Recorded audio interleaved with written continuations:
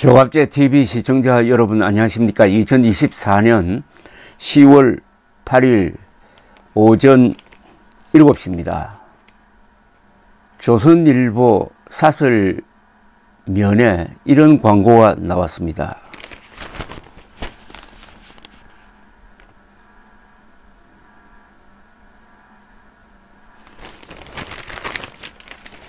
국민행동본부가 낸 광고입니다 우리나라 정통 우파 세력의 중심에서 좌파 정부와 싸웠던 국민행동본부가 낸 의견 광고의 제목이 국민을 속이고 헌법을 짓밟는 윤석열 대통령은 정말 탄핵당하고 싶은 겁니다. 국민을 속이고 헌법을 짓밟는 윤석열 대통령은 정말 탄핵당하고 싶은가? 부제는 박근혜 탄핵 사유가 1이라면 윤석열 탄핵 사유는 100이다. 헌법 제10조, 제15조, 제31조, 제89조 위반이라고 썼습니다. 국민을 속이고 헌법을 짓밟는 윤석열 대통령은 정말 탄핵당하고 싶은가? 그 내용은 의료 대란입니다. 읽어드리겠습니다. 1.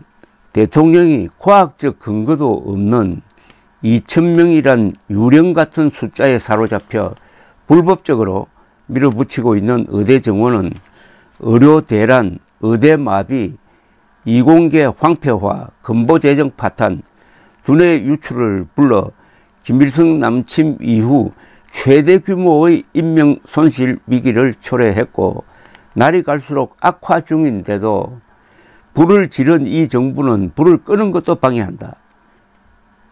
윤 대통령은 권력을 남용하고 사실을 조작하여 국민을 기망, 기망하는 방법으로 대한민국 헌법이 보장하는 개인의 기본권, 생명권, 행복 추구권, 직업 선택의 자유, 그리고 대학의 자율권, 자율권 등을 전면적으로 위반, 스스로 탄핵 사유를 쌓아가고 있다. 이 이천명 정원은 대통령이 말한 것과는 다르게 과학적 근거가 없고 의료계와 적법한 협의가 없었으며 대학별 배정도 날림으로 했다는 사실은 재판과 국회 청문회에서 확인된 바 있다. 이른바 의료개혁은 거짓에 기초했으므로 원인 무효다. 이 3. 그럼에도 대통령은 총선을 앞두고 국가의 최중요 정책을 국무회의 심의도 생략하고 밀어붙였다. 헌법 제89조 위반. 이에 반발한 전공이 1만 2천 명이 사직하고 의대생 1만 8천 명이 휴학, 의료 천국이 의료 지옥으로 변하는데도 수습을 거부하고 있다. 전공의와 의대생들이 의사 및 전문의 시험에 불응 약 6천 명의 의사 배출이 중단될 위기다. 5년간 2천 명씩 의사를 1만 명 늘린다더니 시작도 하기 전에 약 3만 6천 명의 의사 인력을 줄이는 셈이다. 의사 정원이 아니라 의사 가문에 성공한 것이다. 의사 정원이 아니라 의사 감원에 성공했답니다. 4. 지난 총선에서 국민의힘이 참패한 것은 의료 대란에 대한 국민들의 주권적 심판이기도 했다. 윤 대통령은 그런 민의의 불복, 과격한 정원 정책을 계속 밀어붙임으로써 응급실 파행, 수술 지연, 지역 및 필수 의료 붕괴, 전문의와 교수들의 사직이 이어져 의료 천국은 의료 지옥으로 변하고 살릴 수 있는 사람들이 죽어나가고 있다. 미필적 고의에 의한 집단살인 아닌가? 5. 윤석열 정부는 자유의사로 사직한 전공의들에 대한 부당한 압박과 수사로 헌법 15조가 보장하는 직업 선택의 자유를 짓밟고 휴학한 의대생들에 대하여는 휴학 승인도 유급 처리도 못하게 대학을 압박하고 있다. 적법하게 휴학을 승인한 서울의대에 대해서는 집중 감사를 실시했다. 최재형 전 감사원장은 이의 불법성을 지적하면서 교육부가 감사를 받아야 한다고 했다. 교육부는 한국 의과대학들의 교육 수준을 국제적으로 공인해주는 한국의학교육평가원을 압박, 평가 기준을 변경, 의대교육 부실과 저질 의사의 양산을 강요하려 한다. 이는 정권적 차원의 채점 부정, 부정시험 획책이고 의료사고 유발 행위이다. 교육부는 지금 헌법 제31조 사항이 보호하는 대학의 자율성을 파괴하고 있다. 관련 공무원들은 감옥 갈 각오되어 있나?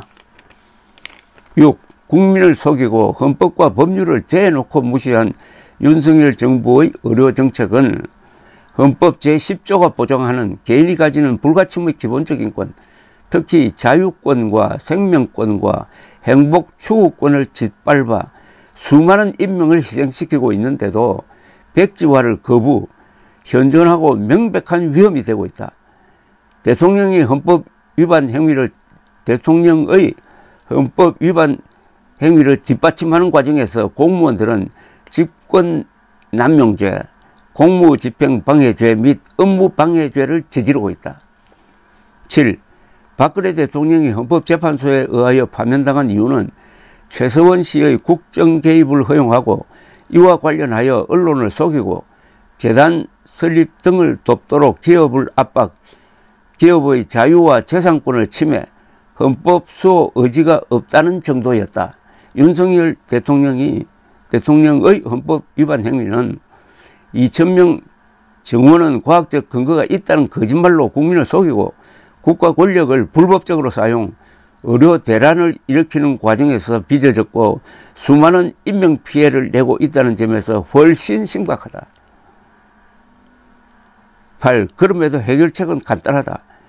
2025학년 정원을 백지화하면 수천 명에게 피해가 가지만 강행하면 의료 붕괴로 5천만 명이 피해를 본다. 작은 피해는 정부가 책임지고 큰 피해를 막는 길밖에 없다. 대통령이 2025학년 정원 백지화를 선언하면 내일 전공의와 의대생들은 돌아올 것이다. 대통령이 헌법 수호와 국민 보호의 책무를 거부하면 국민들은 생존 차원에서 대통령 탄핵을 요구할 수밖에 없을 것이다. 국민이 살기 위하여 못할 짓은 없다. 무능한 통치자는 만참, 만번 목을 침, 만참으로도 부족한 역사의 범죄자다. 김성한 선생이 선 7년 전역에서 나온 이야기입니다. 대한민국 만세, 국군 만세, 자유통일 만세. 국민을 속이고 헌법을 짓밟는 윤석열 대통령은 정말 탄핵당하고 싶은가 이런 의견이 좌파가 아니고 정통 우파 세력에서 나왔다는 것. 그리고 이 광고 문안의 마지막 마지막 문장 무능한 통치자는 만 번 목을 쳐도 부족한 역사의 범죄자다. 이 두 문장은 아마 역사에 남을지도 모르겠습니다. 감사합니다.